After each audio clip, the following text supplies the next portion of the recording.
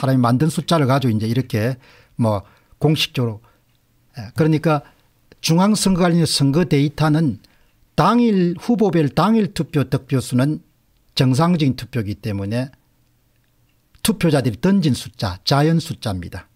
그런데 사전투표 후보별 사전투표 득표수는 만들어진 숫자라는 겁니다. 예. man-made numbers라는 예. 그런 숫자가 된 겁니다. 예. 그러니까 뭐 이렇게 이게 뭐 그냥 지금 허위사실 유포인가 그걸 지금 우리가 지금 규명하는 겁니다.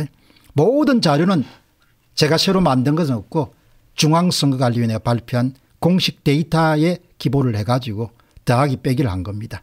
사전 수표 등기는 다 만들어진 숫자다. 예.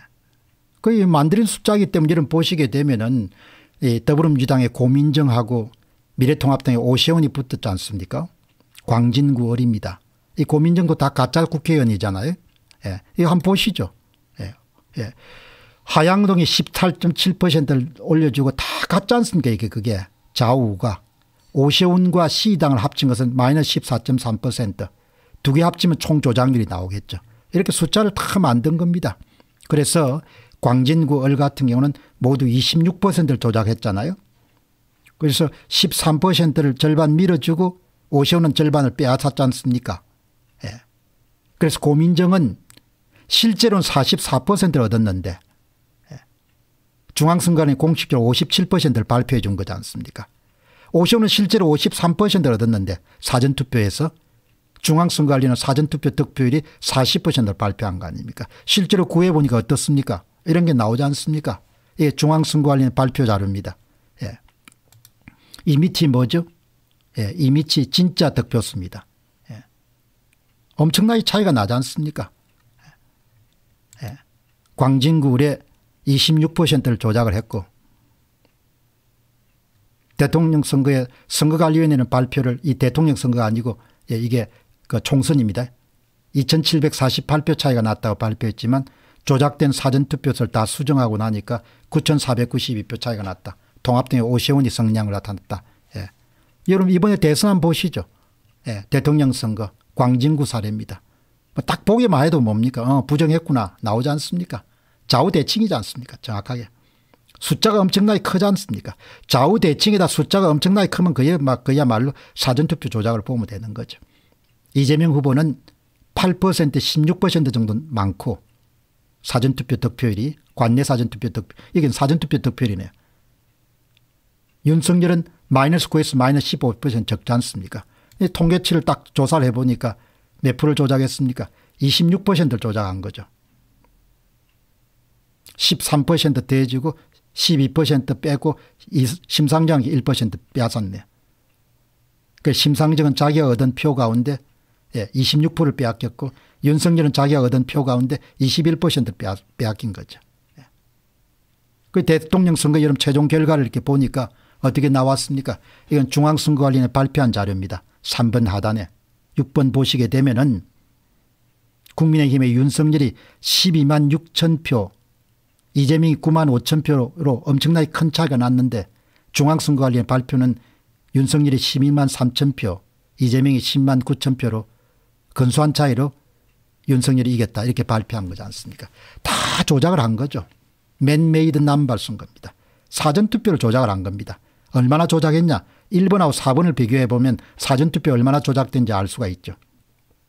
이재명은 실제로 진짜 사전득표수는 4만 7천 표인데 중앙선관 6만 1천 표로 발표했죠. 윤석열은 진짜 사전득표수가 6만 3천 표인데 선관위는 5만 표로 발표한 거죠. 이렇게 다 숫자가 나오는 겁니다. 이거는 조작 프로그램을 발견했기 때문에 가능한 거죠. 예. 다 이러면 이렇게 해가지고 모든 선거를 다 훔친 거죠. 예. 모든 선거를. 맨메이드 사람이 만든 숫자라는 겁니다. 대한민국의 사전투표 득표수는 후보별 득표수는 다 사람이 만든 거다. 그렇게 보시면 되겠죠. 여러분들 2018년도 지방선거에서 경기도 구리시 경우 한번 보시기 바랍니다. 동이 8개입니다. 투표 소수가 53개입니다. 모든 투표소에서 다 민주당이 승리했습니다. 기가 찰 누르시면 한번 보시죠. 예. 이것은 서울시 광역의회 선거 2018년도 경기도 구리시 제1선거구에서 나타난 겁니다. 관내 사전투표와 당일투표의 격차입니다. 똑같습니다. 두 수치가 8점 플러스 8.7 마이너스 8.6 플러스 여러분들 6.7 마이너스 6.7 플러스 7.2 마이너스 7 플러스 7.7 마이너스 7.7 플러스 6.8 마이너스 6.8 플러스 5 마이너스 5 똑같은 겁니다. 만들어낸 숫자이기 때문에 이렇게 좌우대칭이 착하게 일치하고 수치가 일치하는 겁니다. 이런 수치를 만들어낸 겁니다.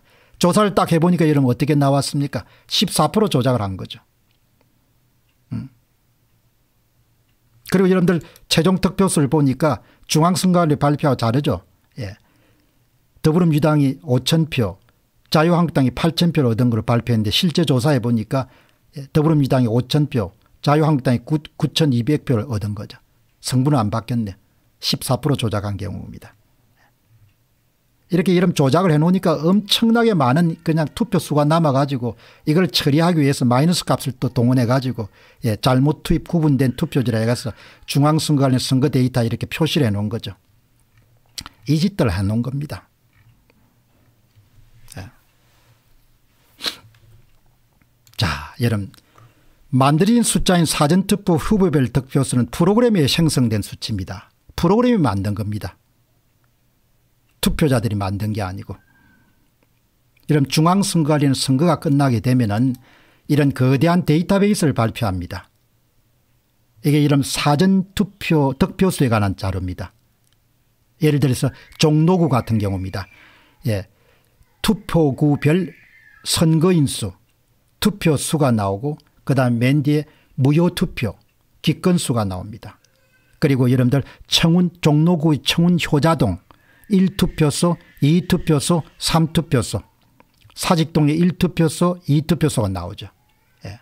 이게 다 투표소마다 뭡니까 사전투표 참가자 수가 다 나옵니다. 예. 이렇게 해가지고 여러분들 딱 보게 되면은 예. 이게 투표수가 다 나오는 거죠 이게. 이재명에게 청운 효자동 제1투표소에 얼마를 받았고 윤석열이 얼마를 받았고 심상정이 얼마를 받았고 무효투표소는 얼마고 기권수가 다 나옵니다. 이런 방대한 데이터입니다. 그렇기 때문에 전문가가 아니면 일반인들은 일반인들은 이 투표소가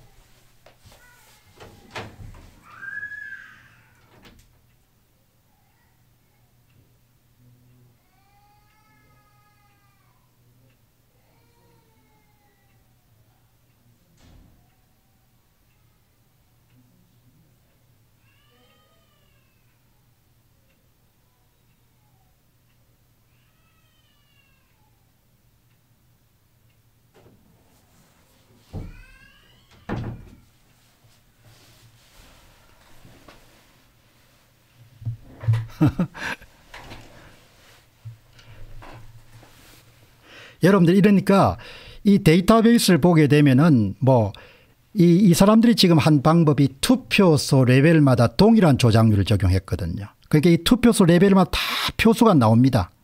사전투표에서 이재명이 몇 표를 받았고 윤석열이 몇 표를 받았고 신상정이 몇 표를 받았고 청운동 효자 제1투표소에서 무효투표가 몇 표가 나왔고 기권수가 몇 표가 다 나오는데 요 투표소 레벨마다 다 조작을 하는 겁니다. 동일한 조작률 적용해 가지고. 예. 이걸 좀 더 크게 보시려면 이렇게 표시가 나오죠. 거소 선상 관내 제외 이게 다 투표소가 다 나오는 겁니다. 투표소 레벨마다 지금 조작을 한 겁니다. 지금 우리 윤석열 대통령은 우리 대통령 됐으니까 아마 땡이다. 뭐 나는 알 바 모르겠다. 어, 난 대통령 일단 먹었으니까 뭐 그렇게 생각하실지도 모르겠죠. 뭐 본인도 함께 물어보지 않았으니까. 근데 여러분들 대선에서 얼마나 조작질을 했는지 한번 보시기 바랍니다. 3구 대선에 조작질을 어떻게 했는지. 예. 윤석열 대통령이 이런 바쁘지만 공병호 TV를 좀 보면 정신이 번쩍 들 건데 예. 뭐 본인이 못 보면 김건희 여사라 좀 보고 알려주면 좋을 건데 뭐가 그렇게 대단한 건지 참. 예.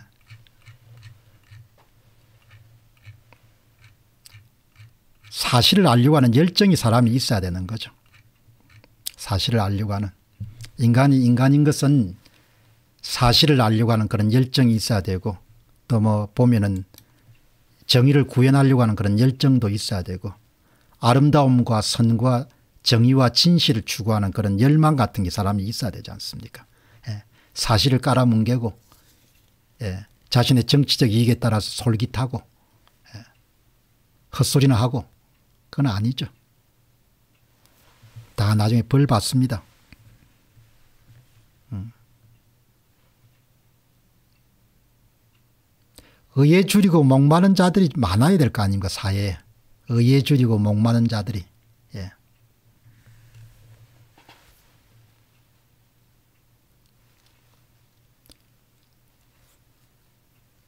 정의에 애통해야 하는 자가 좀 많아야 될 거 아닙니까?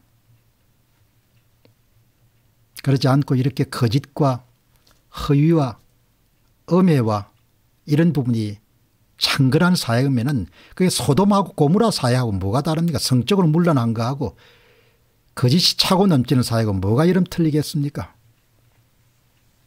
하나도 다를 바가 없는 거죠.